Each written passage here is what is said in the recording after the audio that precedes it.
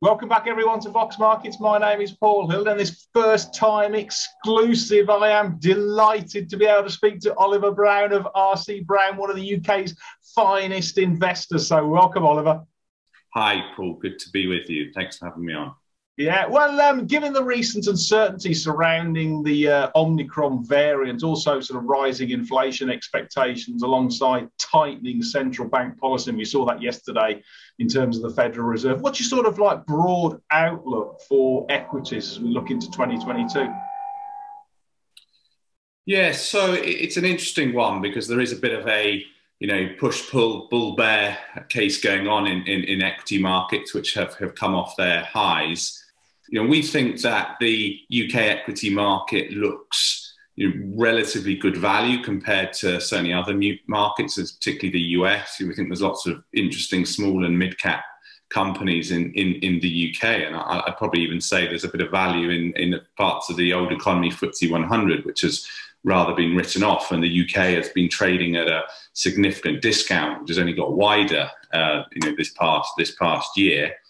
Um, having said that, I, am always conscious that you know markets have had quite a good run or a really good run from the you know lows of last March. And, and and what slightly concerns me is I think there are investors out there who think that you know it's normal to make double digit returns year in year out on, on a stock market, and it certainly isn't. So I, I do think 2022 will be will, will be quite difficult. Uh, that doesn't mean there aren't opportunities and, and, we can't make money, but I think there's definitely uh, it's a stock pickers market. Um, and you know we've we've got obviously the Omicron uh, mm. variant at the moment, which we'll, we'll, have to see how that how that plays out. But how do you think it will sort of like um, affect or impact the economy?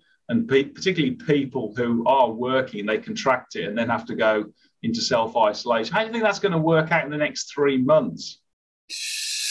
Well, very very difficult to say because it's moving at such a pace. But clearly, it's it's not helpful, and it's certainly not helpful for parts of the economy, particularly you know your travel and leisure companies, which are you know pub companies. They're again going to be on on the back foot, and I think you know it, it's difficult times ahead for for them. But you know those that are well capitalised will will come out of this and should should take market share. Mm. So we'll, we'll, we'll see. But I think what the world has actually done pretty well now at, at, coping with is this ongoing uncertainty. And you know what you see is good businesses are able to adapt and they're able to yeah they're able to move with with the times and um, you know still still perform reasonably well.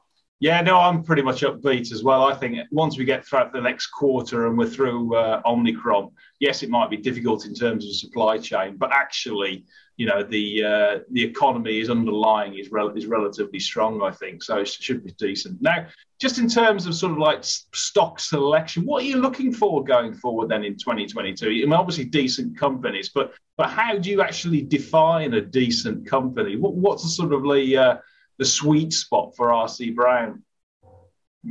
Yeah, so we like yeah, we like quality companies, and what we mean by that is companies that are either market leaders in their sectors or they've got a particular niche that we think is interesting and we think we can go they can go on and grow in that sector. We like companies that are sensibly valued, you know, valuations that we can understand and get on board with. Companies, you know, we clearly prefer companies that that make profits, and even if they're not paying a dividend, at least would have the ability to, to pay one. And we want to have a well diversified portfolio across different market capitalizations, different sectors, um, and yeah, that that's really really our bag. And you know, I can touch on our investment sort of process is what we call the primary opportunities process. And what we mean by that is investing in companies typically at the stage that they're raising money. And the reasons we do this is because if a company wants to raise money, it needs to open its books, it needs to tell us and other interested investors how it's trading. And, and, what that does is it reduces the potential for a nasty outcome further down the line. We're buying with our, our eyes wide open, we can see the state of the business. We're also normally buying a discount to where the shares are trading at because if a company wants to raise money, then it will usually issue those shares at, at, at, a, at, a, discount. And again, we're buying shares because these are newly issued shares that we're normally buying. We're not buying, we're not paying any stamp duty or, or commission, which doesn't, you know, obviously doesn't add cost to the to our to our portfolios either. So that's that's our, our thesis. Yeah, it, it, seems to be a sort of like a, um, a real area of expertise for RC Brown in the sort of the primary sort of fundraising market. You've been really active in the uh, in, in, IPOs, and we'll, just in terms of sort of like the level, the health of the IPO market, what are you seeing at the moment? I mean, is it is it being affected by the year-end slowdown? But you expect you expect it to sort of like uh, pick up next year? Because I mean, obviously, it was very strong earlier on. Yes, so it's been an active year for, for, for, for fundraisings, and obviously IPOs are part of that. You know, we saw we've seen around about 30 billion pounds raised on the London market this year, which is similar to last year, which are two you know, high high years for, for, mm. for equity raisings. The IPO market has been pretty buoyant this year. There's been there's been plenty in the small cap area as well. Uh, you're right. The last six seven weeks things have gone a bit quieter, and it's definitely been tougher for uh, you know for, for, for, firms to get their uh, get get their companies IPO'd. I think there's a bit of fatigue in, in, in truth, um, and also you know the latest sort of Omicron concerns concerns haven't haven't helped. But you know my view actually it's been quite a healthy market. What we don't like is IPO markets that are you know everything's everything you know going to 30% premiums and there's money flying in from all over the place. You know, to us that's, that's not rational that's not healthy. Whereas at the moment actually you're seeing good companies that are, have got you know particularly interesting area or sector or niche and a good story to tell are able to float and, and are floating on sensible valuations. And those that perhaps don't uh, are, are actually quietly getting pulled. So that's actually quite healthy in, in my view Mm. Well, you, you just um, IPO'd or helped IPO a couple of them, and we'll just start with one, EnerAqua um, Tech, which I understand is sort of an expert in um, all things sort of like energy saving and uh, water saving for sort of consumers, etc. And it seems to be uh, growing really well, and also having it's got generating sort of twenty percent EBIT margin, so it's obviously got something there which is uh, pretty pretty good. Yes, we, we think it's uh, we think it's a good company. I mean, it's, it's, it's IPO'd very very recently. Uh, as you say, it's sort of a water, energy, and efficiency company. So, if you've ever been in a, in a shower uh, at a hotel and the water pressure has been pretty variable, well, these guys will sort that out for, for, for you. So, their their, their end customers are sort of housing associations. You've got blocks of apartments, uh, hotel groups, leisure centres, that kind of thing. And, and the other part of their business is uh, is, is, is, taking out old heating systems and replacing them with the heat pump systems as well, the new heat pump systems that are coming in. And, and as you say, the company is growing well. We think it's pretty modestly valued. It's early days, but you know we think it's one to watch.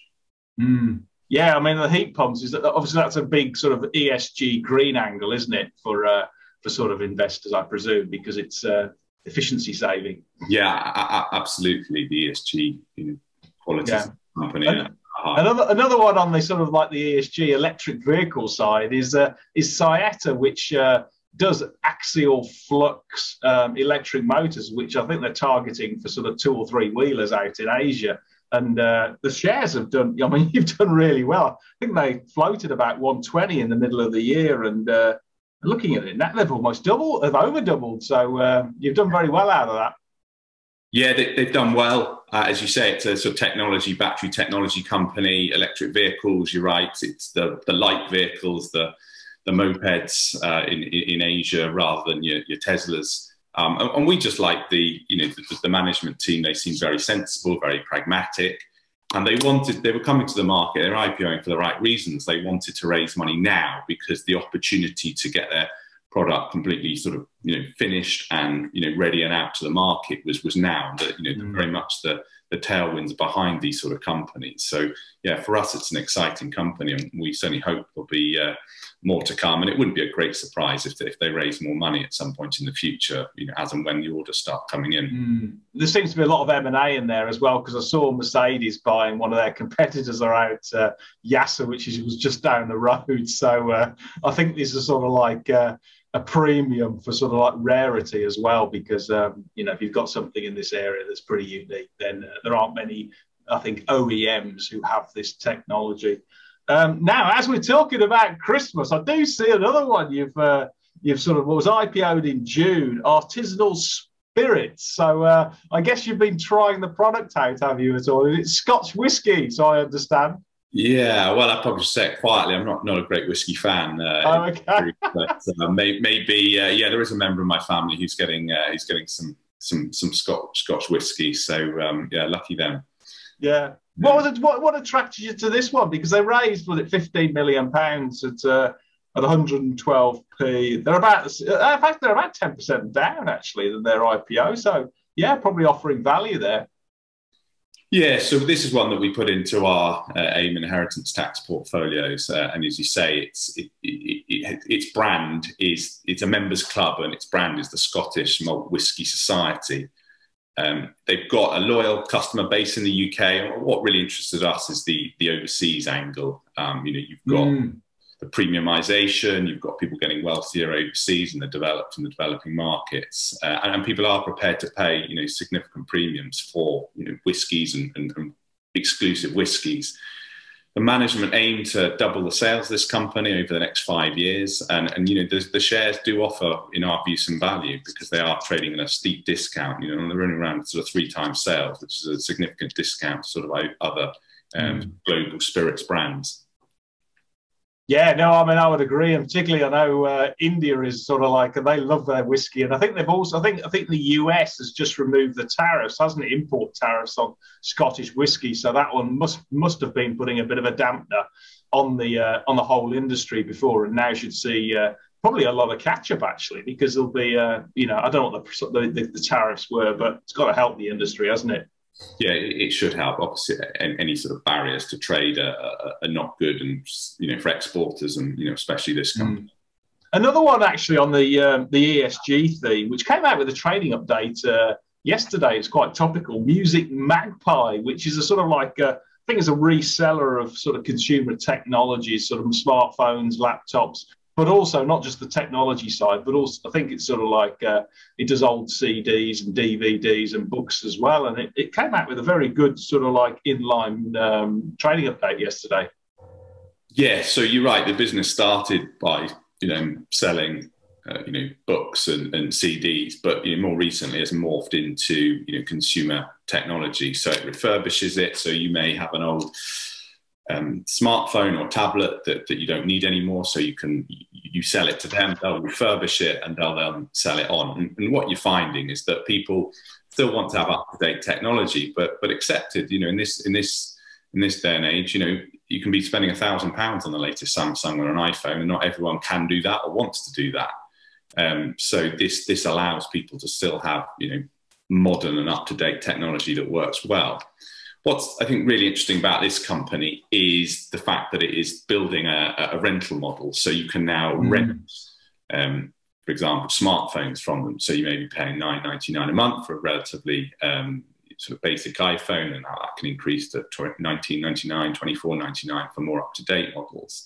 And, the, and the, the beauty of that is the stock market will simply value that business at a higher multiple because that's a customer that is then you know locked in for a period and is likely to carry on. You know, we don't we don't tend to change our our, our mobile phone contracts very often in the same way that you know people are not likely once they've signed up to the Music Magpie proposition, and they'll have the ability to upgrade in 12 months' time if if they want as well. They're also moving uh, moving into the US as well, which is obviously a, a, a huge market, and you know, as you mentioned, it is a good environmental play. It, they are increasing the lifespan of you know consumer technology products. Um, mm. So you know, it's rather better that they get refurbished and, and have a longer life rather than end up in, in landfill. Yeah, and I guess this is really appealing, isn't it, to the millennials? It's people who sort of, or, the, or Gen Z, people who are sort of like slightly younger and uh, not only want to go for the environmental angle, but they're just used to paying a subscription rather than paying as a one-off cost, isn't it, for a sort of like a, a mobile phone or, or, or a laptop? Now, I did actually. It is run by um, the founder, isn't it, Steve Oliver? And is that sort of like an important trait for a lot of these um, IPOs? Is sort of you know sort of like still have that continuity of management team to really drive and to energize that, those type of businesses. Is that, is that a sort of feature that you look for in terms of IPOs, or you're not that not that concerned? I think it's it's good to have, and it is good to have the founder there. But you know, founders sometimes uh, are not always the best chief executives um, because you know, listing on the, on the public markets, you know, comes with its own stresses and strains. So mm. it, it, really depends. But I think I think broadly it's positive to have them there. And, and what you want is they've built a, a significant business, they floated it. You now want them to take it on to the next level because you know we have invested in that company, we provided them with more capital, and mm. if the mm. management's any good, they're going to use that money to go on and grow the company, grow profits, hopefully pay dividends, and obviously, you know, that's good for shareholders. Yeah. Another company actually with a, I think, which is IPO, well, sort of over the last sort of six months, is Revolution Beauty that has a, uh, a sort of founder as a CEO. And I know I've spoken to him, Adam Minto, and uh, I mean, he's just absolutely, to me, he's fabulous. I don't know what you've thought about. If you want to take us through the company, it obviously does affordable quality um, cosmetics and um, hair care and skincare products that uh, it sells underneath its Revolution brand, I think. Yeah, no, absolutely, really, really exciting company, and certainly one that we consider to be a, a disruptive company you know, in the in the sort of makeup and skincare company um, uh, sector. You'll find it in Boots and, and Superdrug, but it is growing. You know, its online sales are growing now significantly. It's growing well internationally, and it is able to make products, you know, much cheaper than, than some of the competitors and still sell them, um, you know, for very good margins. But, you know, they are significantly cheaper than the likes of L'Oreal and, and Revlon. And we, we do think it's an industry that is ripe for a shake-up. You know, for a long time, the likes of uh, the competitors would, would be putting, you know, these glossy adverts in, in magazines, which is very expensive. And what these guys have been really, really good at doing is using sort of social media and influencers to uh, attract uh, you know relatively young um, customer base, and, and, it really has uh, has taken off. So we, we think it's uh, one to watch, and they've got a men's uh, a men's range coming out in February. Oh right, nice one. Well, that might be of interest to me, that's for sure. yeah. But I did, I did just talking about that international angle, which is really quite interesting, isn't it? Because uh, they've got already the big footprint in um, in Target, and I think they're the best-selling cosmetics um, brand there alongside uh, Ulta Beauty, and they just signed actually a huge retailer out in the states, and they wouldn't divulge who it is. I can probably guess, but uh, it'd be a bit remiss of me. But it does show you, doesn't it, that the actual growth in the world's biggest beauty market, they, they're really taking to the Revolution brand, which could, even when you say is as a disruptor, could really sort of like move the dial on the top line. Yeah, no, absolutely, and it's you know it's still got a tiny you know share of global market share. So there's an awful lot to go at. So we, we think it's we certainly think it's one to watch. Yeah, and then, it's sort of coming full circle, really, to sort of like the, the DIY market. Another one which um, sort of like uh, IPO'd, uh, or a couple of them were just recently, was CMO Group and uh, Lords Trading. And I think CMO do. They're an online retailer building products. That must be pretty tough. And uh, we've got Lords Trading, which I think is a sort of building plumbing DIY type. Can you just take us through both of those? Yeah, so CMO, uh, you know, online retailer of building materials. You know, the management have said they want to be the ASOS of, sort of building materials world. Um, so you know, hope, hopefully they'll they'll uh, achieve. How do you do that? I mean, what that's a real USP because I mean, you can't Amazon sort of like a, a pallet of bricks or whatever. I'm not sure what they do. I mean, no, absolutely, and it, it is a it, it's a really underpenetrated market. You know, in the pre-pandemic, we wouldn't really have thought of, of, going online and ordering things like that. We'd have gone to our builder merchants, we'd have gone to B and Q, but actually, it makes a lot of sense. And one thing we've we've all got much more used to is ordering online, and we had to do it you know, during the pandemic, during lockdown. We had no option, and actually, it makes a lot of sense if you need some bricks or you need some patio slabs um, delivered. They're heavy. You don't really want to be going somewhere mm. and you know getting them in your car, etc., etc. So it, it, makes a lot of sense. Um, and you know, the company raised you know, money at that IPO, um, you know, to, to fund fund acquisitions, you know, to further to go into other areas as well. Because so I mean, they're, they're, as I say, to make that a successful model, I mean, they're going to be best in class because there aren't that many even in the class, are there? Who'd be able to do that? Yeah, it, it's a sort of winner winner takes all really. Yeah, and what about sort of Lord's Trading? I mean, this is obviously the repair and maintenance and continuing to sort of like people building out their kitting out their own homes. I guess is sort of like you know the plumbing and. I mean, we're putting some carpets in, and we're still struggling to get people to come in to do our sort of like you know put a sink in or, or or mend the tap and all that kind of stuff. So it just shows you there's still a lot of pent up demand in consumers to be able to do the RMI market. Yeah, there's there's definitely a theme which which we think will continue, you know, for the next year or two, and, and that is you know, people wanting to make their homes nicer places to live because they are, you know, we're spending more time there now, and that and that's likely to, to continue. You know, Lords, relatively simple business. It's a builders merchants. Uh, they've got sites predominantly in the in in the uh, southeast. Uh, we expect them to grow that that footprint. It's very much a buy and build strategy. You know, sensible management. It's going to be a consolidator in the sector, but their online presence is growing as well. Around about 25% of sales are now coming from online, so they're yeah. not ignoring that area. But there's certainly still a still a a, a, place for people who want to go and you know look at their look at their products. And you know, just going back to sort of CMO, the big advantage they have of being online is that they've got 75,000 lines of stock on their on their website, whereas you go to a, a builder's merchant, you know, typical builder's merchant, it's only 4,000 lines. So that you know, we know that the choice that you can get online is is rather greater.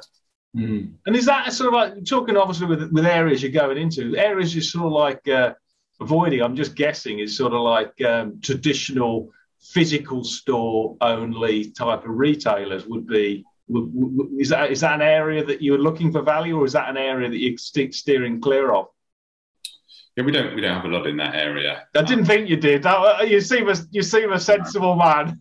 no, I mean if if you are going to have that, it's very much fine. You're going to have a presence uh, on on the high street or, or in or in you know retail parks. That's okay, but you do need an online offering. So we hold Dunelm. We think Dunelm is sort of a best in class business. We hold Hotel Chocolat as well, but Hotel Chocolat came out of being a um, you know, a mail order company. So, you know, for them, yes, they've got a high street presence, but actually a lot of their business is done online anyway. And when the shops were shut last year, all you saw was that the sales just moved online, um, which for them is great. Yeah. Yeah, I think the department stores have seen their day, though, your traditional ones. I mean, we've had uh, all kinds of them which have been uh, been struggling. Now, um, just moving on to um, uh, sort of like it's, it's, still in the home, but again, it's a new one which uh, was IPO'd in November. Actually, I've never even heard of them before. So obviously, you've been keeping your keep, keeping tabs on the IPO market. Is Stelrad Group, which does um, it manufactures and sells steel panel radiators across Europe and the UK and uh, Turkey, doesn't it? I mean, what what what sort of attracts you to um, to radiators? Yeah, I mean, it, fair, fair, not not possibly the most exciting company in our portfolio. it is a UK market leader. It has got a 50, over 50% market share in the UK. You've probably got, unwittingly, a, a Stelrad radiator in your own home. It's got about 20% market share in Europe. Wow. And you know, this is another company we, have spoken again about Lords and CMO. It's another beneficiary of home improvements. You know, people mm. want to make their homes a nice place to be. They want to make them warmer.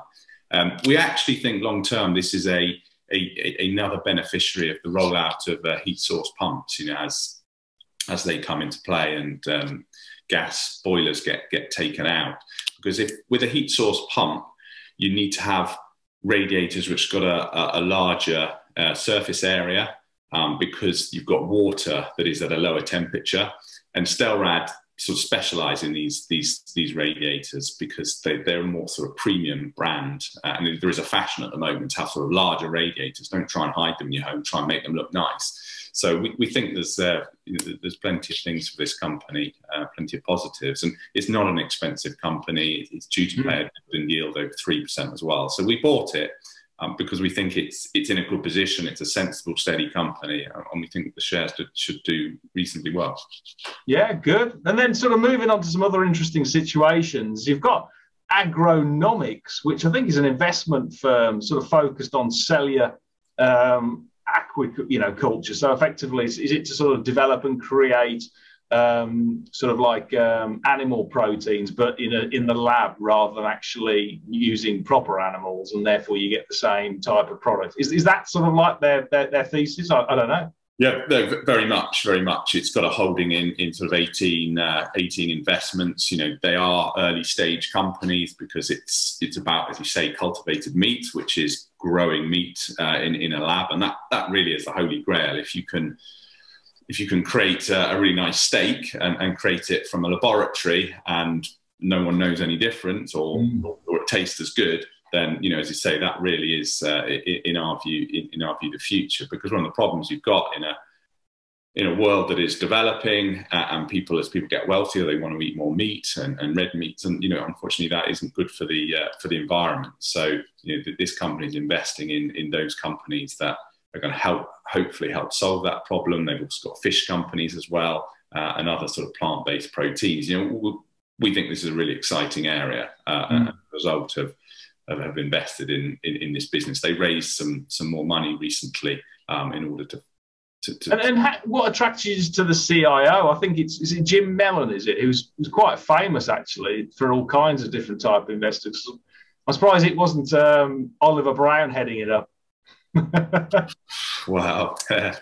no comment, no comment. No, Jim Mellon's uh, got a very, very good record. Um, so, you know, it, it, can be it can be worth backing. You know, well, it's certainly worth backing good good management teams. Obviously, you've got to think what they're up to is, is sensible as well. But um, you know, this has got uh, it's got Jim Mellon involved, and it's also got um, one of the guys behind Innocent Smoothies as well.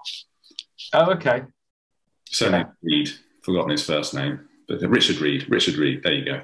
Right. And presumably for these type of things where it's sort of like futuristic sort of technology, you need some expertise there, isn't it? As like some real industry in, in expertise as well. I mean, obviously Jim and uh, the, you know, the other guy has got has got a reasonable level, but you need some presumably some biologists or somebody who's been able to be able to sort of like kick the tires on these things. Oh, oh, absolutely, and that's why for us as a generous investor, this is this makes is a sensible way of playing a space that is you know still pretty nascent. Um, yeah. We've got exposure to you know 18 businesses, and that will grow. And you know the hope is that a few of them become really really substantial companies in time. Mm. One of them, and now moving on to um, electrosurgical devices. Now, uh, this has been around for some time, Creo Medical, um, but I think. Uh, is it reached a sort of like an raised some money, didn't it? 36 million pounds in August at about 182p, and the shares are a bit lower than that now at the moment. But what sort of attracts you to the long term sort of like trajectory of electrical, um, you know, sort of instruments? Yes, so, so Creo floated in in 2016, um, and you know it makes these. Well, one of the things it does is make sort of small devices that are used in, in, in surgery for, for cancer patients. You know, the advantage is that it's, it's much more minimally invasive, which you know helps to improve client outcomes it, it's a company that has stalled a little bit in the last couple of years. COVID hasn't helped because mm. it means that they haven't been able to get out in the field as so much and, and train up surgeons in order to sort of sort of take their take their products. So I think there's an important, it's certainly an important year ahead for this company. Um, you know, the shares have done well since IPO. They just happened to rather stalled in the last couple of years. And as you say, they've raised money um, you know, earlier this year, and, and, and those, you know, the shares have, have drifted. And what's the USP of the electric? Because presumably they compete against some of the electric for the the US guys, don't they? The, the, the devices, or is it really sort of quite unique? So I can remember having my nose cauterized when I was a kid, and it was extremely extremely painful at the time in the in the doctor's surgery. So. Uh, I, I, remember what these things are like, but they do stop um, bleeding, don't they, and stuff like that. They help. They promote coagulation. Yeah, no, it's, it's, it's got a it's got a unique te- technology. Um, you know that the, you know, people are very excited about. There's there's definitely a, a, sort of fan club of investors behind this business. Um, you know, I think it, it, it's it's now time for it to um, uh, to deliver really, and, and we're looking for for news flow into sort of 2022. Yeah, well, I say investors have a look at this because I know Edison have put out a valuation of 240p compared to the current shares at about 145. So there's definitely upside there. Now, just moving to sort of the consultancy side, uh, Elixirr International, um, which I think sort of is a smaller version of people like Bain and McKinsey, isn't it? Is it sort of like it does all that sort of top level strategic consultancy? Yeah, no, absolutely. It's uh, I think it would call itself a challenger to the consulting market, as you say, the, the, the likes of Capgemini, and it would certainly believe that it's a, a, more a more nimble company. You know, yes, they help clients with you know strategy, perhaps overseas expansions and regulation, maybe the rollout of sort of IT systems. You know, got some very high profile clients, you know, HSBC, Mars, Tesla, uh, ASOS, and actually this really shows the beauty of, you know, in our view of investing in IPOs, because if you get into a, a company uh, at IPO uh, at a sensible valuation, and this company has consistently you know, beat its forecast. It's under promise. It's over delivered. You know, the shares floated only last year at 217 pence. You know, they're now they're now wow. they're now north of seven pounds. You know, the management, you know, the chief executive is very ambitious. Um, you know, expanding teams. He will will look to take on other teams and perhaps buy some companies as well. Um, so it, it is now on a, on a premium re- rating, um, but they have really delivered, and you know, hopefully there's more to come. Yeah, and then just um, just finally, in this sort of professional services, we've got K3 Capital, which I think is a sort of like a sort of a, an M&A stroke sort of corporate recovery, forensics and tax advisory business, isn't it, in the UK, which uh, again, I think IPO'd in, or it raised 10 million pounds in July. Yeah, absolutely. Uh, it's a professional services company, very much focused on the on the sort of SME market. And you know, we live in a world where you know, it's getting more complicated, and you know, companies need advice. So they're they're definitely beneficiaries of, of, of this. You know, whether it be tax, whether it be corporate finance, whether it be restructuring. And you're right, they, they raised 10 million pounds in order to buy a, a couple of companies um, called Knights. And mm, that's right. on a, on a relatively modest rating. Um, you know, K3 is, is trading on a, on a, on, a, higher multiple of that. So it is, you know, immediately earnings enhancing you know, and this is this is they've got a good record since they floated in 2017. It's not an expensive company. It pays you a three and a half percent yield as well, which is certainly not to be sniffed at. So, you know, the shares have been relatively um, flat since the raising, but you know, we think there is there is value there. Mm. And then just finally, sort of like for, for, for, next year, what sort of like risks people should watch out for? Is it sort of like a combination of Chinese property blowing up or staying on a zero tolerance of, of COVID, or is it just new variants, or how, how do you see that sort of things to for investors to keep a tabs on? Yeah, so I think you have to accept that the the COVID story, you know, will ebb and flow. We're currently in one of those, you know, situations where there is uncertainty, and as a result, markets have, have, come back a little bit, but not not hugely. I think as long as vaccines continue to hold, then you know that that that that's we should be okay. But that's that is an if. Um, the China property thing, I'm not overly concerned about that. I think the Chinese authorities um, will keep it pretty well contained, and it's not like in sort of 2008, 2009, where you know the U.S. housing problem resulted in you know in a, in a global financial crisis because China is is more self-contained. Um, I think higher inflation and it, in it staying sort of stubbornly high is is an area of concern for us. You know, this, the, the global supply chains are, are creaking a little bit, and, and we think that's going to continue to be a, an issue. Um, central bank tapering, there were some concerns that they were going to taper too quickly, but I think the latest strain of, of the variant has probably put, put paid to that. And, and, I think one thing they really don't want to do is, is raise rates too quickly and then you know snuff out um, you know the recovery. So I think it'll be a, a sort of a slow a slow plod really in, in 2022 there'll be ups and downs. There'll be things that will happen that we're, we're completely you know we're, we haven't maybe even thought of yet. Um, mm. but you know there is there is some value you know in, in, in the UK market and, and, pockets of the market as well. So it's, it's yeah I think it, there's already a, a level of uh, safety of margin isn't there in the UK I mean the US trades at about 20 times next year's earnings. And I think the, the, the FTSEs are roughly around about 14, like last saw, we're at 13 foot. And it's even cheaper, I think, in the small cap area as well. You can get some real sort of like special situations. Yes, and, and that's why you've seen a lot of M&A activity, you know, in, in, in small and mid caps uh, in the UK this year. And, you know, whilst that discount continues to exist relative to other markets, then, you know, our, our companies will keep getting picked off. Mm.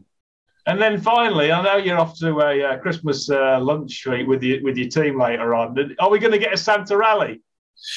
Well, we're trying to have one this morning. We were up uh, about 60 points earlier. Um, so, yeah, who knows? Who knows? I mean, the market, there's not a huge amount of volume at the moment. So it, it is likely to get blown around by, um, you know, news and particularly COVID news. So, um, um, don't know is the answer. Yeah, it was only, it's a bit late, isn't it? It's sort of like a week or 10 days to go. So uh, we may have a strong first quarter if we can get the, get the, if we can see the back of Omicron, it's got to help a lot, uh, a lot of certainly domestically focused companies anyway. Yeah, no, I, I would agree with that. Yeah. Well, thanks very much for your time, Oliver. And just um, if if people want to actually um, invest in any of the RC Brown funds, where's best to sort of like uh, to contact? Is it contact you or go on the website or? Yeah. So we we've got a website um, that is dedicated to our fund. The fund is called the IFSL RC Brown UK Primary Opportunities Fund. www.rcbpo.com www.co.uk. Um, you should be able to find details. Feel free to, uh, to, to, ping us um, a message from that.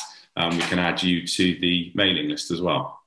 Great. Okay. Well, uh, look forward again in touching base in about six months' time and seeing how uh, those uh, exciting uh, stock ideas fare. So uh, thanks very much, Oliver, and speak to you in 2022.